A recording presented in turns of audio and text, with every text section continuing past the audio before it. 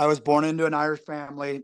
The name Murphy, um, obviously, is is um, right up there with uh, you know, at least in Ireland. The last I checked, um, was the most popular surname in Ireland.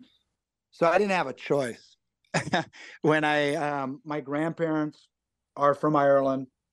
My uh, grandfather, Daniel Murphy, was from uh, a little uh, town on the western end, Dingle, a, a, beach city in County Kerry. And then my grandmother was from uh, Achill Island in County Mayo. Um, funny thing is, they both came here within a year to the States. They didn't come together. They um, came across the Atlantic on the ships and they met, we think Cleveland or in Detroit, um, one of the two um, cities. They met here, two Irish uh, young kids, immigrants uh, to America, came together, met.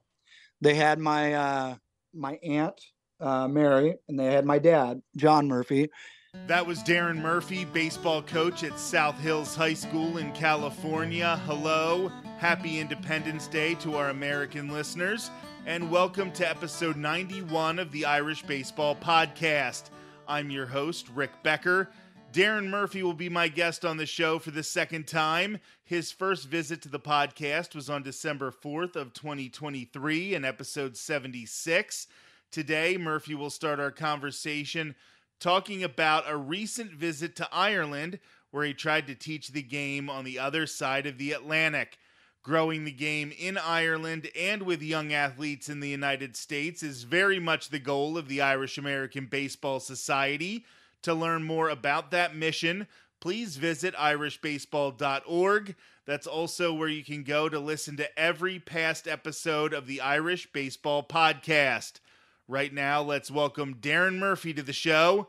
Thanks for being here, Darren. It's my pleasure. Thank you for having me. You recently had a trip to Ireland where you gave a free clinic to youth baseball coaches.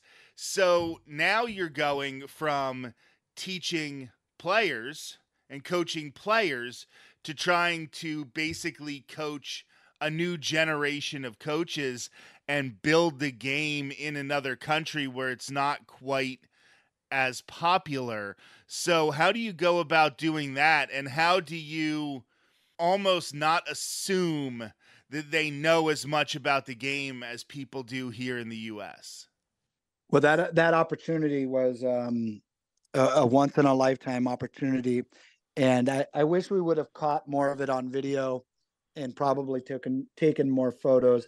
I guess that's like every family vacation back in the old days. We all wish we would have captured more um, but it will be a great memory to me because if you saw it, it was nothing fancy.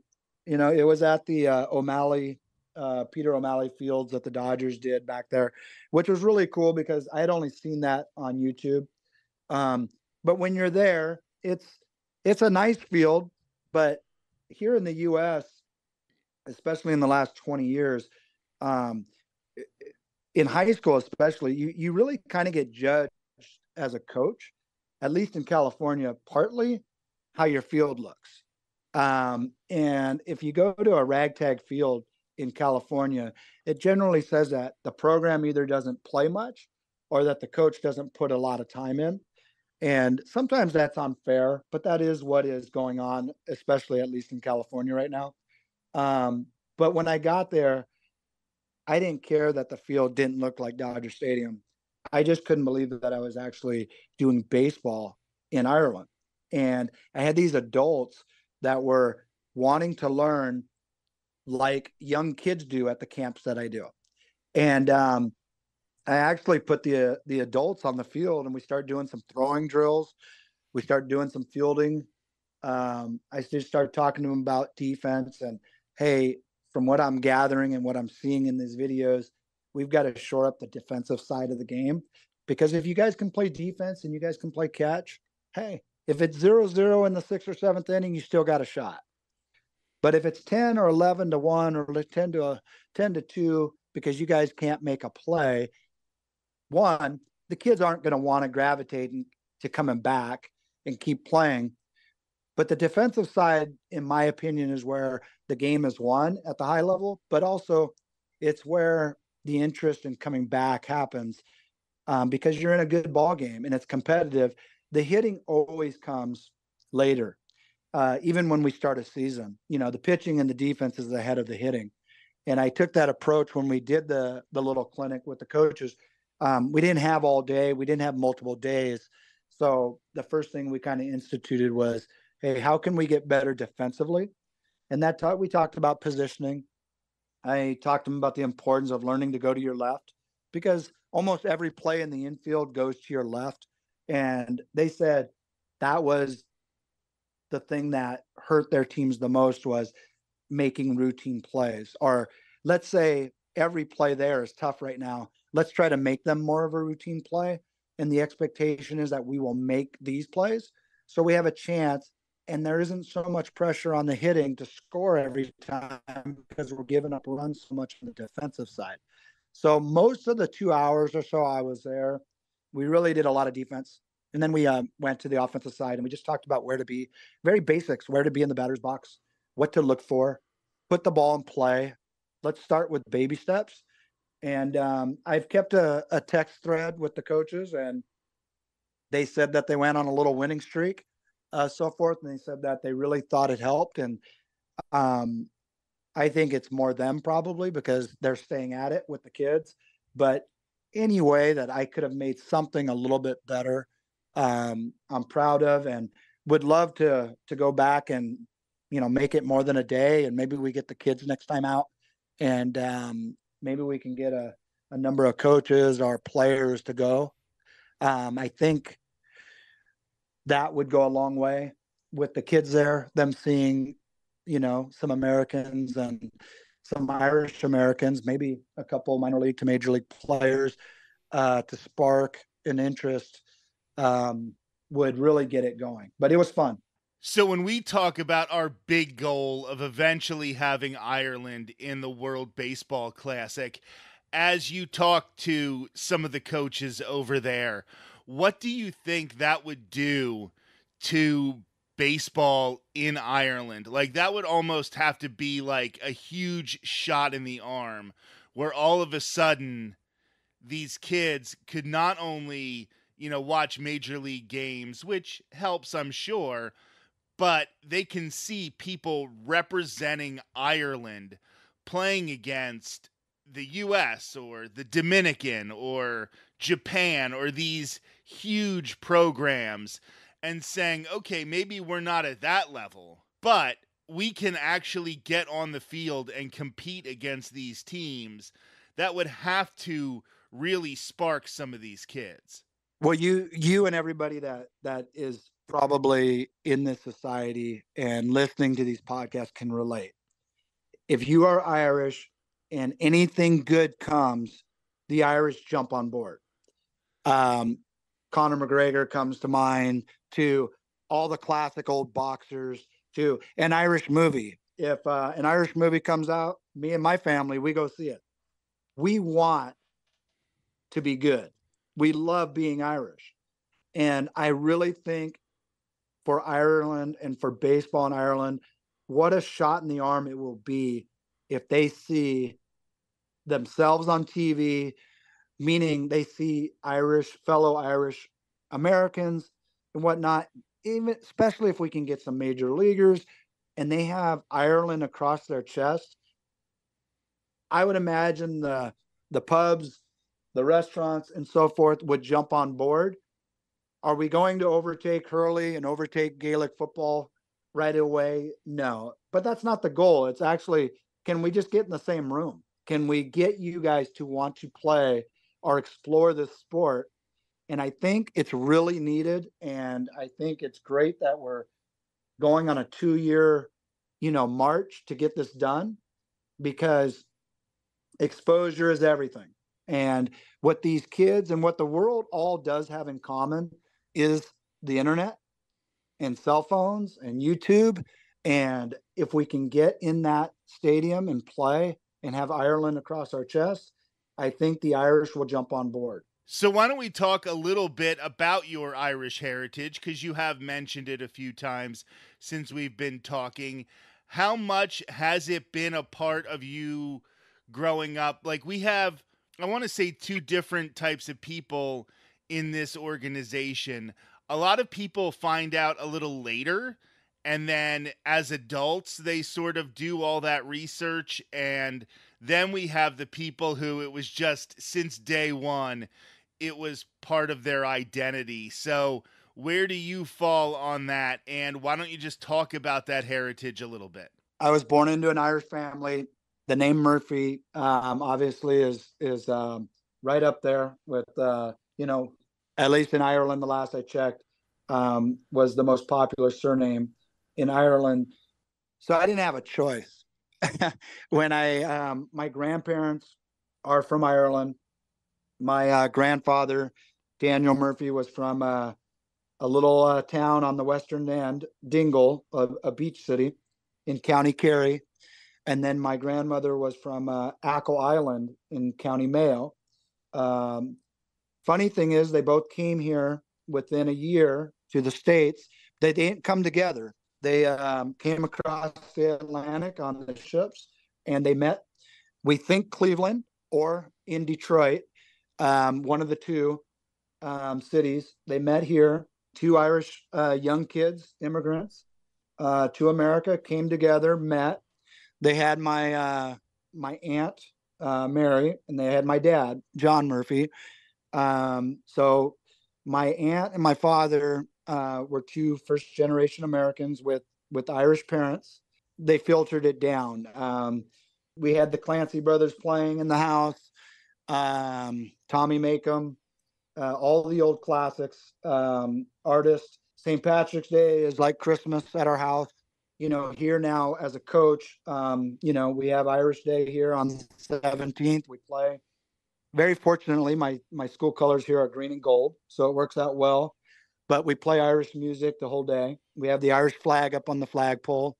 But going back to being a kid, it's such a big thing, and it's extended to. I have cousins all through. We you know, we just went to a Detroit Tigers Angels game and we had about 30 cousins all at the game. And um, I've gotten, uh, I think, half of them to join the society now in the last week. Um, but eh, we, you know, I have one cousin in particular who throws this huge St. Patrick's Day party every year with a band. With uh, we invite the neighborhood, and you know, it's well over a hundred people at this party, and it's just embedded in us from the pride to uh, what it means. We've you know filtered filtered it down to my wife, to my three kids. We've been to Ireland now two times in the last two years. My kids are starting to get on board. At first, they thought it was being forced a little bit, but I think they're secretly trying. They're secretly now uh, having that pride and uh, doing their research themselves and what it means and um, we just love it. It's it's just something that we've been born with, and um, it's not going to leave us. So we talk about how Ireland has played a big part, and your Irish heritage has played a big part in your past and growing up and being the person you are now. Obviously, baseball has played a similar role.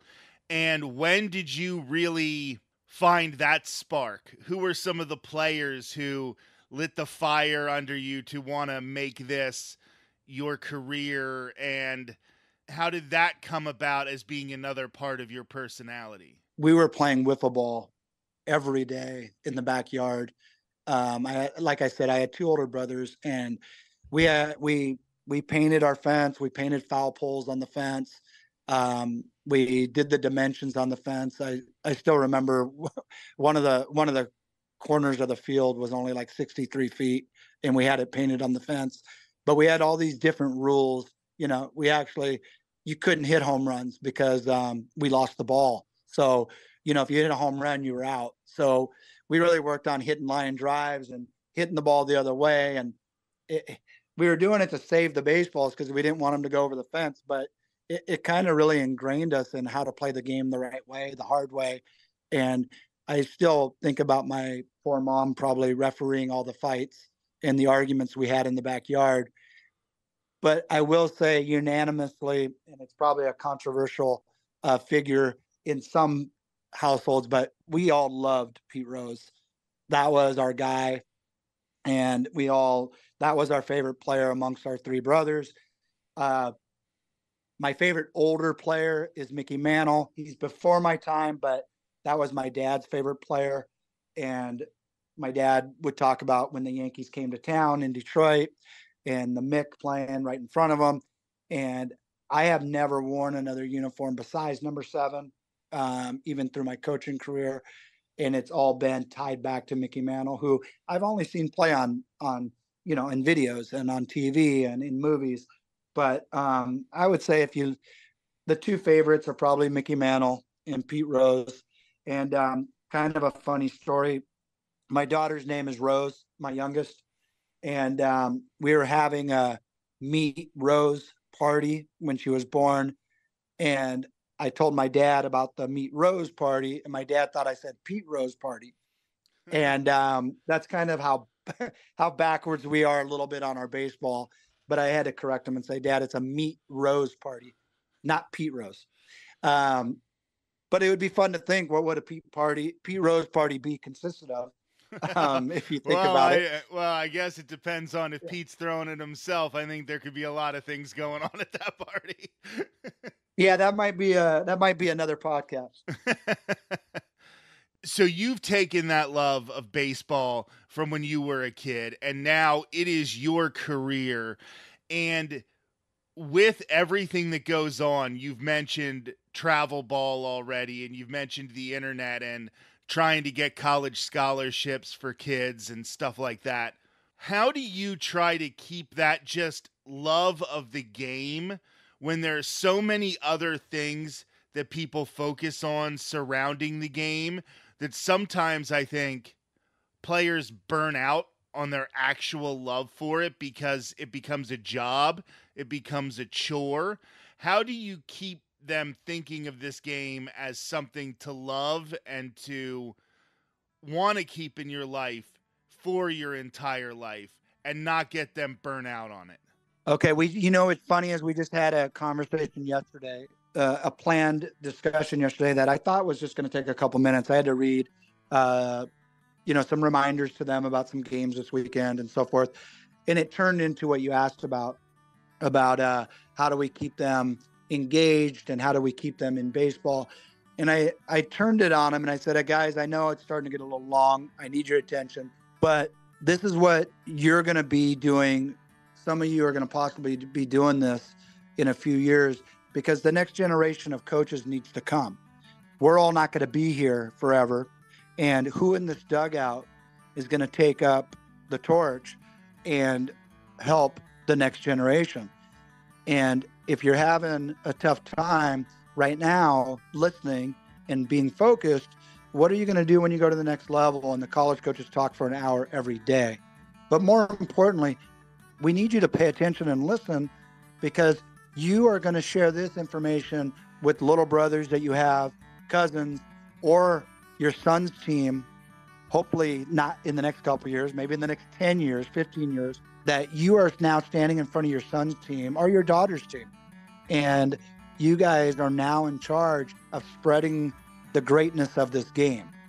And so we want you to also learn the game so you can teach it because we all got that responsibility to keep this game going. Because if you've gotten to this point, you're playing in high school, I'm going to guess that the game has been good to you. The game has been fantastic to me and all of us old coaches. But if you keep coming back and you keep trying to play this game, which in my opinion is the hardest game for a variety of reasons, you've got to really learn the game so you're in the position to keep it going and paying it forward because this game gives so much back to us that we owe it to keep it going. And the game is changing.